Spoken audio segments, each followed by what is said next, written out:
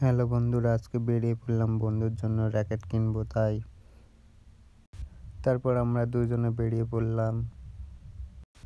যাওয়ার সময় একটু দোকান থেকে খাবার কিনে নিলাম। খাবার কিনে তারপর আবার দুজনে বেরিয়ে পড়লাম। যেতে যেতে পেট্রোল শেষ হয়ে গেছিল, তাই তেল পাম্পে আসলাম তেল ভরার জন্য। তারপর তেল ভরে নিলাম।